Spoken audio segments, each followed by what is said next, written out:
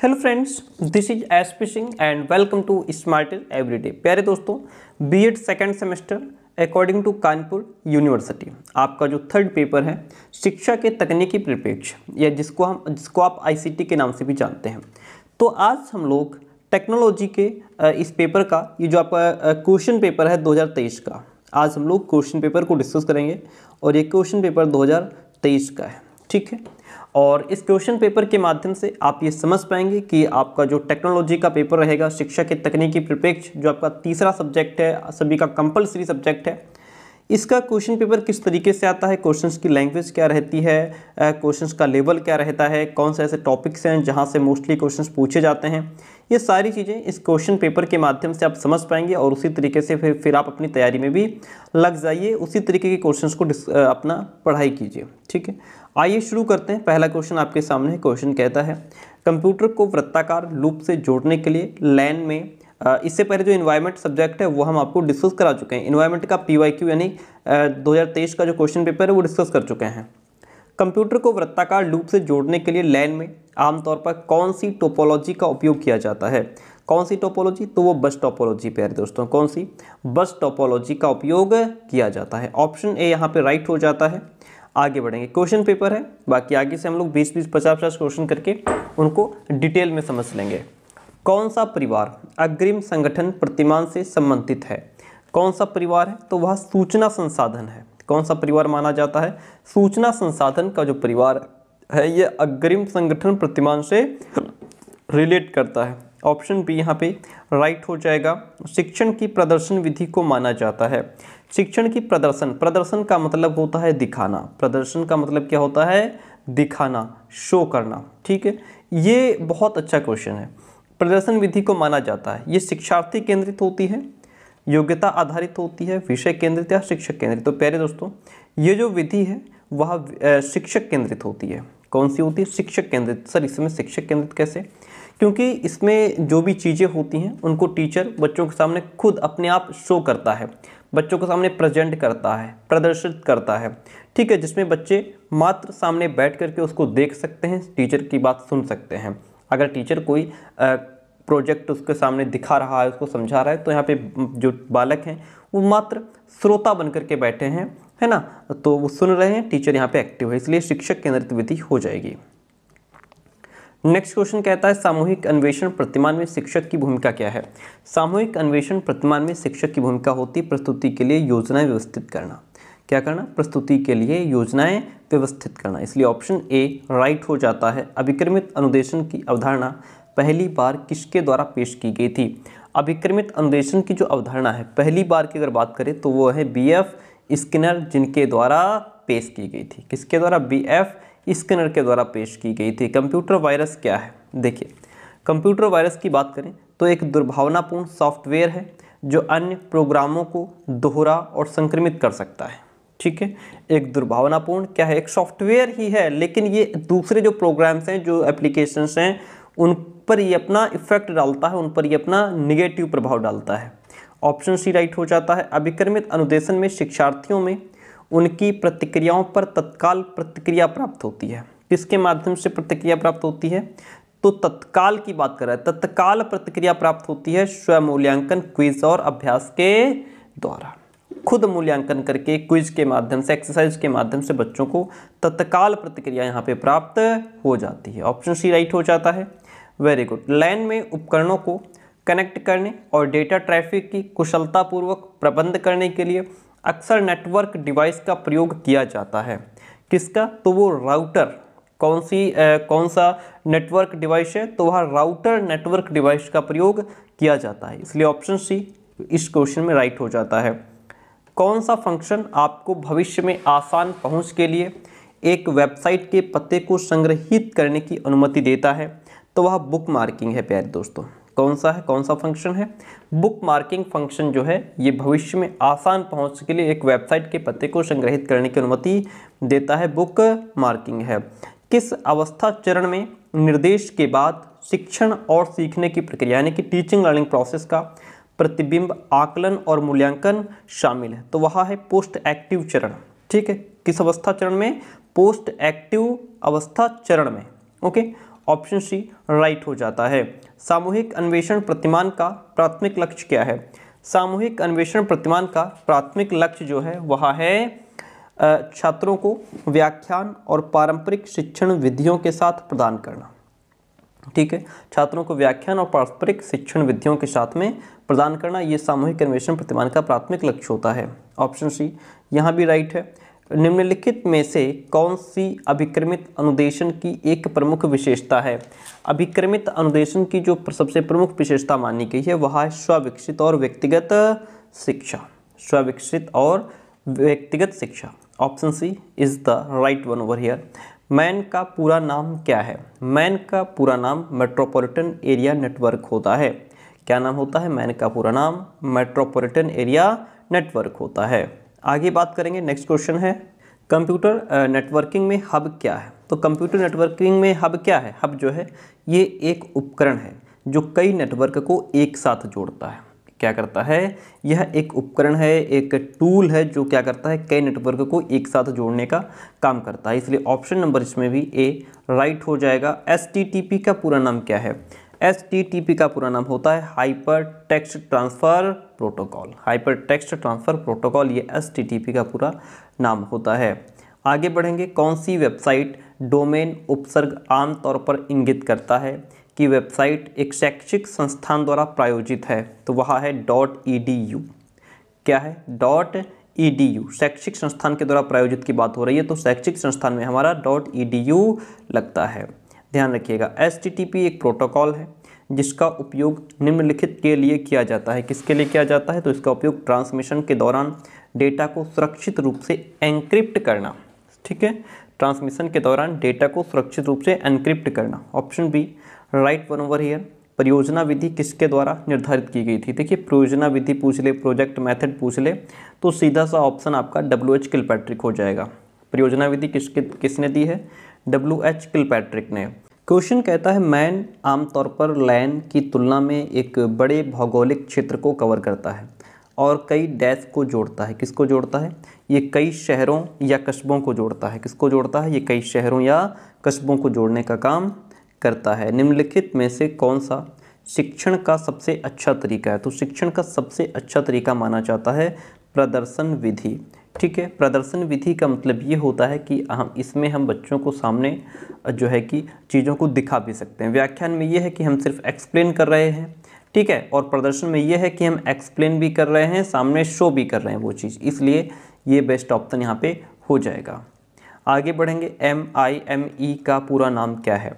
M I M E का पूर्ण रूप होता है बहुउद्देशीय इंटरनेट मेल एक्सटेंशन बहुउद्देशीय internet mail extension option A is the right one U R L का पूरा नाम क्या होता है? यू आर एल का पूरा नाम यूनिफॉर्म रिसोर्स लोकेटर होता है। यूनिफॉर्म रिसोर्स लोकेटर ठीक है? ऑप्शन सी यहाँ पे राइट हो जाता है। वेरी गुड नेक्स्ट की बात करेंगे, निम्नलिखित में से कौन सी परियोजना विधि की एक विशेषता है? जो परियोजना विधि होती है, इसमें छात्र स्वायत्तता और ज़िम्मेदारी के साथ काम करता है। ठीक है। जो भी प्रोजेक्ट मेथड होता है, उसमें शिक्षक केंद्रित ये है नहीं कि इसमें इसमें बालक काम करता है रटा इसमें जाता नहीं है। सीधी सी बात है, छात्र स्वायत्तता और ज़िम्मेदारी के साथ इसमें काम होता है, प्रोजेक्ट बालक खुद तैयार करता है। एलेक्स एफ़ ओसबॉन्ड के द्वारा विचार निर्माण के लिए विकसित तकनीक को क्या कहा जाता है? तो ऐसी तकनीक को मस्तिष्क उद्देलन कहा जाता है। क्या कहा जाता है? मस्तिष्क उद्देलन कहा जाता है। ऑप्शन ए यहाँ पे राइट हो जाता है। क्वेश्चन नंबर ट्वेंटी फाइव है आपके सामने। सी ए आई का पूरा नाम क्या है? देखिए सी ए आई का पूरा नाम होता है, मैं आपको बता देता हूँ, आप ध्यान भी रखिएगा इसको। Computer assisted A double S I S T E D computer assisted instruction, ठीक है? Instruction, okay? ये होता है, कंप्यूटर असिस्टेड इंस्ट्रक्शन। इसको हम कहते हैं कंप्यूटर सहायक अनुदेशन या फिर कंप्यूटर सहायता प्राप्त अनुदेशन। और जो यूनिवर्सिटी की तरफ़ से आंसर सीट आई थी, उसमें इसका आंसर ये माना गया है। गलत है और ऑप्शन इसका जो सी है, वो बेस्ट ऑप्शन है। ओके कंप्यूटर सहायक अनुदेशन या कंप्यूटर सहाय अनुदेशन, ये सी आई का पूरा नाम हो जाएगा। ऑप्शन सी राइट हो जाता है। हम आगे बढ़ते हैं। सॉफ्टवेयर उपागम में कौन सा शामिल नहीं है? तो सॉफ्टवेयर उपागम में ओवरहेड प्रोजेक्टर जो है, ये सॉफ्टवेयर उपागम में शामिल नहीं है। बाकी लिखित सामग्री है। ठीक है, वीडियो प्रोग्राम है, पारदर्शक वस्तुएँ हैं, ये सभी हमारी सॉफ्टवेयर उपागम के अंतर्गत आ जाती हैं। आगे बढ़ेंगे, नेक्स्ट क्वेश्चन की बात करेंगे। क्वेश्चन कहता है, दृश्य श्रव्य सामग्री का एक उदाहरण है। दृश्य श्रव्य सामग्री हमारा सबसे बेस्ट दूरदर्शन है। इसमें चीज़ों को हम सामने देखते भी हैं और सुनते भी हैं। शैक्षिक तकनीकी का तात्पर्य होता है कि कला और विज्ञान में मध्यस्थता होना। कला और विज्ञान में एक सामंजस्य स्थापित होना। शिक्षा तकनीक का मुख्य रूप क्या है? शिक्षा तकनीक का मुख्य रूप होता है अभिक्रमित अनुदेशन, शिक्षण तकनीकी, व्यवहार तकनीक। ये सभी ऑप्शन यहाँ पे डी जो है वो राइट हो जाएगा और हम बढ़ेंगे नेक्स्ट क्वेश्चन की तरफ़। वेरी गुड बहुत बढ़िया क्वेश्चन बहुत बढ़िया क्या मतलब पी वाई क्यू ही है। शिक्षण का मुख्य तत्व क्या होता है? शिक्षण का मुख्य तत्व है पाठ्यवस्तु और संप्रेषण दोनों ही चीज़ें टीचिंग को बहुत इफ़ेक्टिव बनाती हैं। दोनों के बल पे ही टीचिंग चलती है। अगर कम्युनिकेशन अच्छा नहीं होगा तो फिर बालक आपको नहीं समझेंगे, आपकी बात को नहीं समझेंगे, इसलिए ऑप्शन नंबर जो सी है वो यहाँ पे आपका राइट हो जाता है। शैक्षिक तकनीकी का उद्देश्य क्या है? देखिए आईसीटी का उद्देश्य होता है शिक्षण और सीखने के तरीकों को विकसित करना, ठीक है? टीचिंग के जो टीचिंग मेथड्स हैं, उनको डेवलप करना लर्निंग मेथड्स को डेवलप करना ये सभी इसके उद्देश्य होते हैं। ठीक है ऑप्शन बी राइट हो जाता है। कंप्यूटर सहायता प्राप्त शिक्षण शिक्षकों को कैसे लाभ पहुंचाता है? कंप्यूटर सहायता प्राप्त शिक्षण जो होता है वो टीचर्स को किस तरीके से लाभ पहुंचाता है? तो इसमें जो है आ, उनके प्रदर्शन के आत्म मूल्यांकन को सक्षम करके विशाल जानकारी के प्रसारण की सुविधा प्रदान करके जी बिल्कुल इसमें जो टीचर होता है वो कंप्यूटर के माध्यम से एक बड़ी जानकारी को जो है कि बच्चों के सामने कंप्यूटर के माध्यम से आसानी से प्रेजेंट कर देता है। समय की बचत भी हो जाती है, इसलिए बी और सी ऑप्शन जो है वो दोनों राइट हो जाते हैं। हार्डवेयर तकनीक की उत्पत्ति कहाँ हुई थी? हार्डवेयर तकनीकी की जो उत्पत्ति है, वो भौतिक विज्ञान और अनुप्रयुक्त विज्ञान के माध्यम से हुई थी। ऑप्शन इसमें जो सी है, वो राइट हो जाता है। क्वेश्चन ट्वेंटी फोर है, कौन सी इकाई कंप्यूटर में डेटा की सबसे छोटी इकाई का प्रतिनिधित्व करती है? कौन सी इकाई है? तो वह बिट है। बिट जो इकाई है, ये कंप्यूटर में डेटा की सबसे छोटी इकाई का प्रतिनिधित्व करती है या मानी जाती है। कौन सा अनुदेशात्मक प्रोग्राम डिज़ाइन फ्रेम के अनुक्रम का अनुसरण करता है, जिसमें एक प्रदर्शन, प्रॉम्प्ट और रिलीज़ पैटर्न शामिल हैं? तो वह हमारा मैथेटिक अभिक्रम हो जाएगा। कौन सा अभिक्रम हो जाएगा? मैथेटिक अभिक्रम हो जाएगा। किस प्रकार के फ्रेम में संकेतों का उपयोग नहीं किया जाता है? तो शिक्षण फ्रेम जो है, इसमें संकेतों का उपयोग नहीं किया जाता है। ऑप्शन बी, राइट हो जाता है। संकेतों का उपयोग सही प्रतिक्रिया देने में मदद करने के लिए किया जाता है। तो संकेतों का उपयोग सही प्रतिक्रिया देने में मदद करने के लिए यहाँ पे रेखी अभिक्रमित अनुदेशन में भी किया जाता है और शाकी अभिक्रमित अनुदेशन में भी किया जाता है। इसलिए ऑप्शन बी और सी दोनों यहाँ पे राइट हो जाते हैं। इंटरनेट के संदर्भ में डब्ल्यू का मतलब क्या होता है? वर्ल्ड वाइड वेब होता है। सिंपल सी, सिंपल सा आंसर है। आप सभी को पता होगा। ऑप्शन ए, राइट हो जाता है। अच्छा आपको हम बताते चलें कि हम पेड कंटेंट भी प्रोवाइड कराते हैं, जो इन्वायरमेंट की क्लास थी, उसमें हमने आपको दिखा भी दिया था। पेड कंटेंट का मतलब होता है कि आपको कुछ फ़ीस पे करनी होती है एंड कंप्लीट नोट्स आपको प्रोवाइड करा दिए जाते हैं। उसके लिए आप हमें nine six two eight one eight two six four nine इस नंबर पे व्हाट्सअप मैसेज के माध्यम से नोट की इन्फॉर्मेशन आप ले सकते हैं जिसमें आपको full topic wise content P Y Qs and short notes और जो क्वेश्चन बैंक आते हैं uh, जैसे आपका गोल्डन सीरीज़ हो गया इजी नोट्स हो गया ये सभी क्वेश्चन बैंक भी आप तक पहुँचा दिए जाते हैं। नेक्स्ट है ऑनलाइन सीखने के संदर्भ में सिंक्रोनस माध्यम। क्या संदर्भित करता है? सिंक्रोनस माध्यम क्या संदर्भित करता है? तो यह प्रशिक्षकों और छात्रों के बीच वास्तविक समय की बचत जो एक साथ हो रही है, उसको संदर्भित करता है सिंक्रोनस माध्यम कहलाता है। S W A Y A M Swayam क्या है? स्वयं जो है, यह मुफ़्त ऑनलाइन पाठ्यक्रम प्रदान करने के लिए एक डिजिटल पहल की गई है, स्वयं। ओके, ऑप्शन डी राइट हो जाता है। केबल टीवी नेटवर्क एक उदाहरण है। केबल टीवी नेटवर्क जो है, वह मैन का, ठीक है, किसका? मैन का एक उदाहरण माना जाता है। जिसको हम मेट्रोपॉलिटन एरिया नेटवर्क भी कहते हैं। शैक्षिक तकनीक के मुख्य रूप क्या है? तो शैक्षिक तकनीक में आपका अनुदेशनात्मक तकनीक भी आता है, प्रशिक्षण तकनीक भी आ जाता है, शिक्षण तकनीक भी आ जाता है। ये सभी जो है वो शैक्षिक तकनीक के मुख्य रूप माने जाते हैं।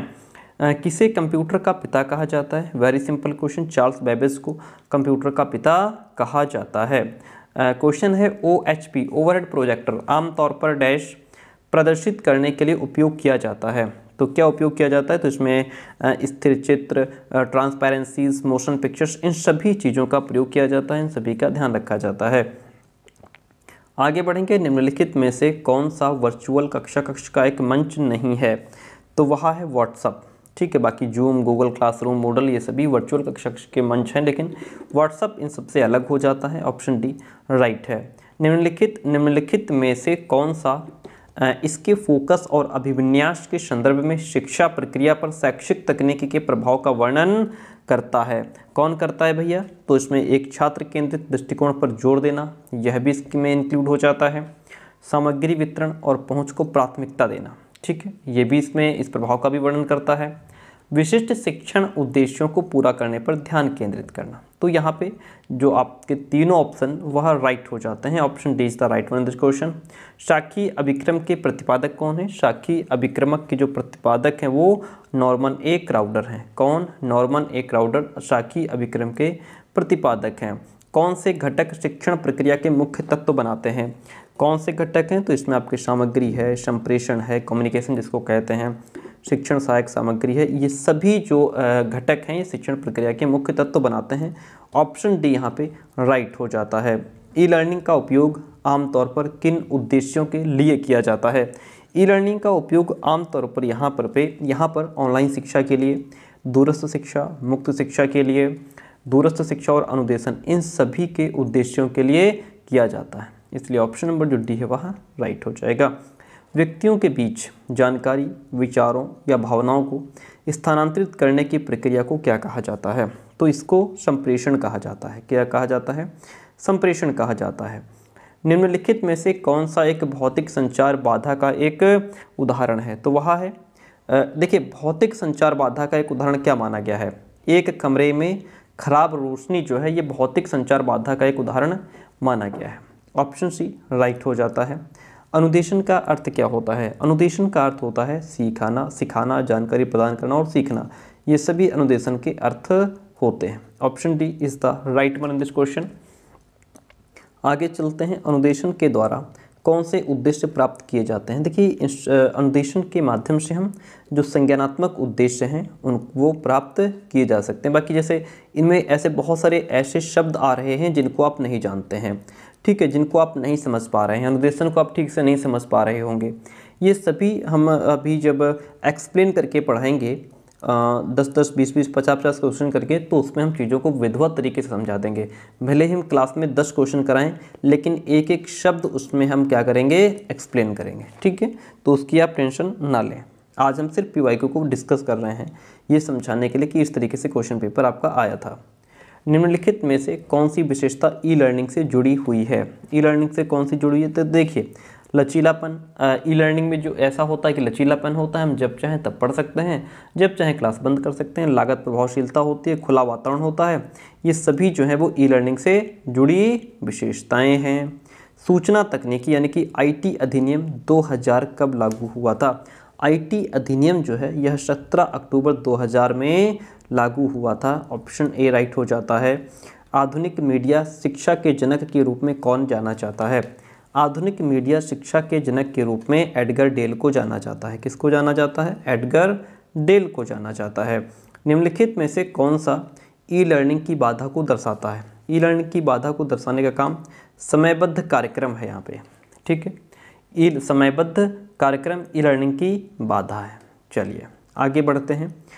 ईमेल शब्द का पूरा नाम क्या है? ईमेल शब्द का पूरा नाम आप सभी को पता होगा, इसको हम इलेक्ट्रॉनिक मेल कहते हैं। क्या कहते हैं? इलेक्ट्रॉनिक मेल कहते हैं।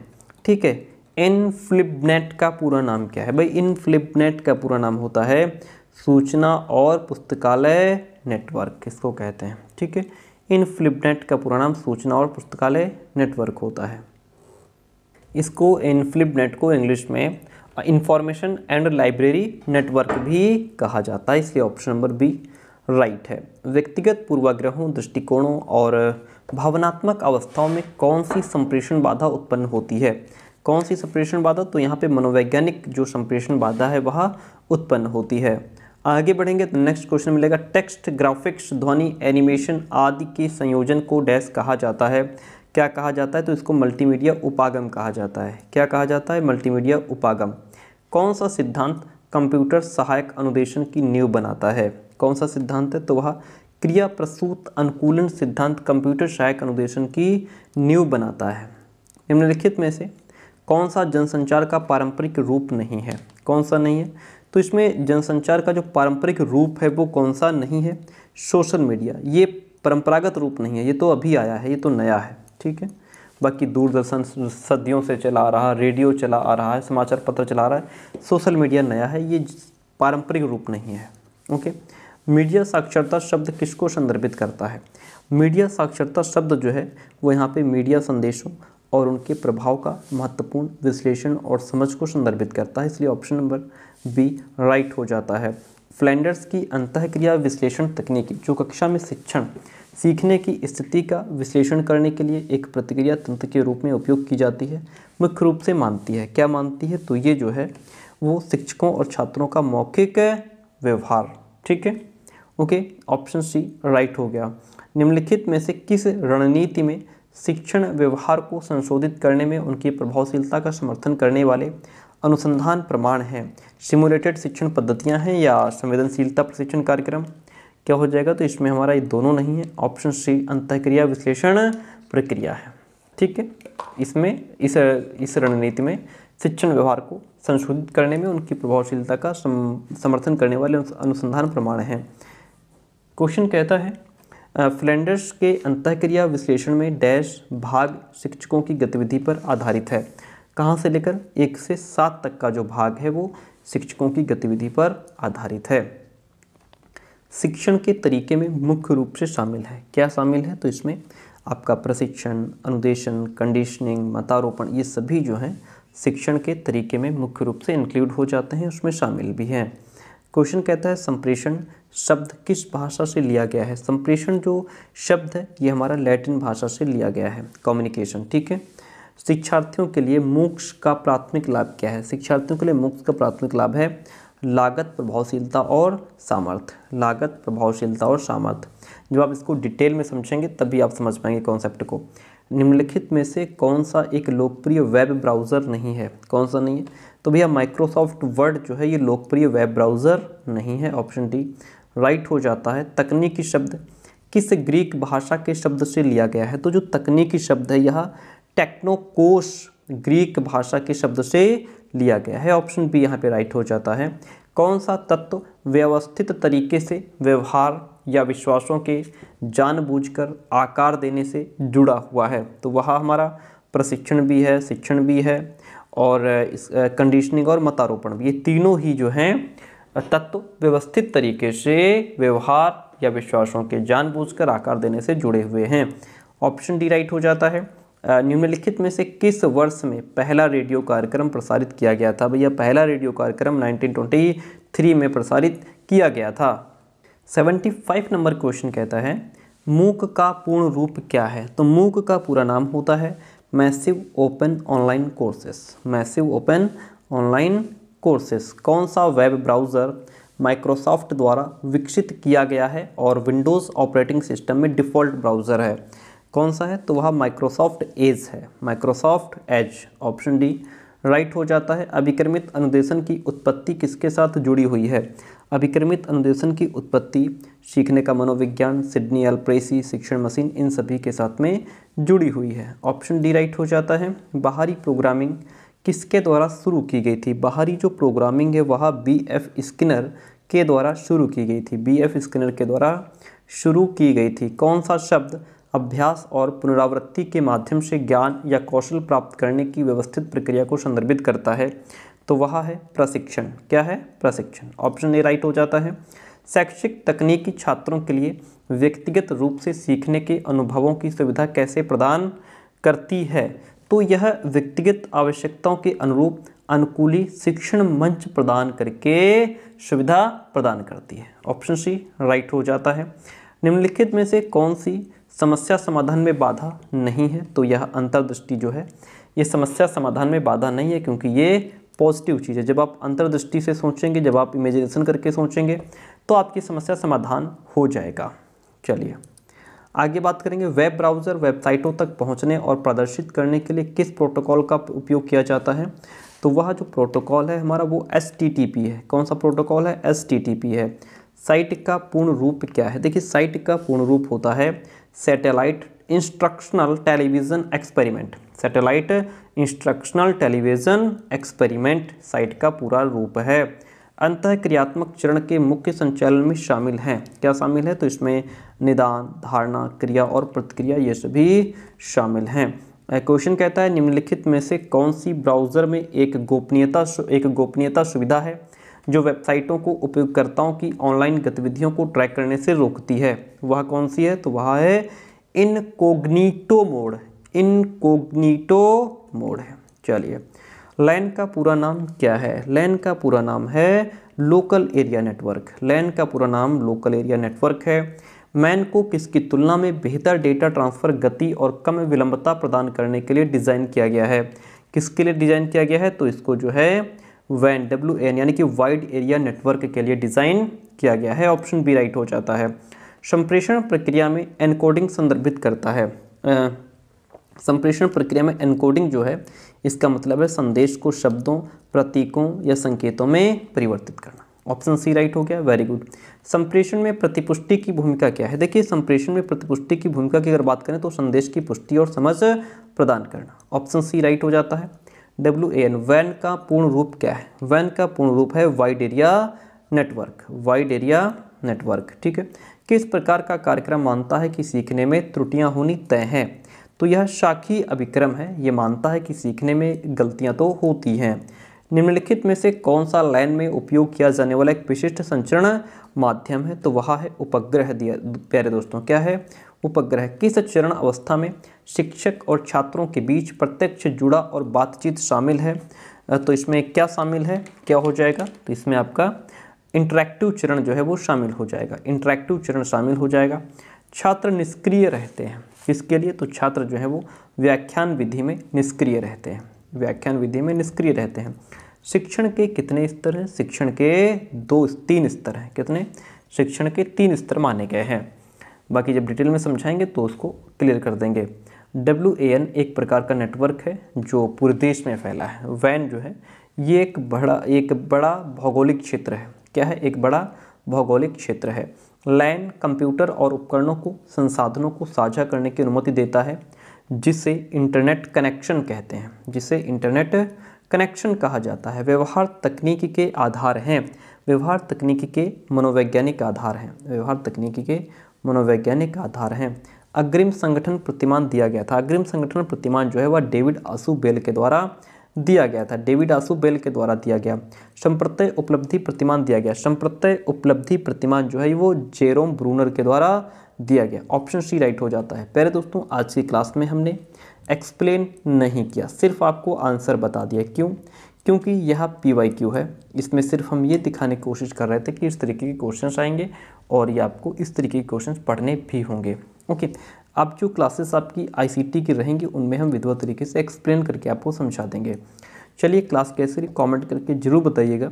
और मैं जानता हूँ कि इसमें बहुत सारे ऐसे वर्ड्स हैं, शब्द हैं जो आपको समझ नहीं आए उनके लिए हम आपको अलग से जब एक्सप्लेन विद एक्सप्लेन क्लासेस कराएँगे तो आप समझ पाएँगे। थैंक यू सो मच और हाँ नोट्स के लिए मत भूलिएगा nine six two eight one eight two six four nine ये नंबर है। यहाँ पे व्हाट्सएप मैसेज करके नोट्स की डिटेल इन्फॉर्मेशन ले सकते हैं।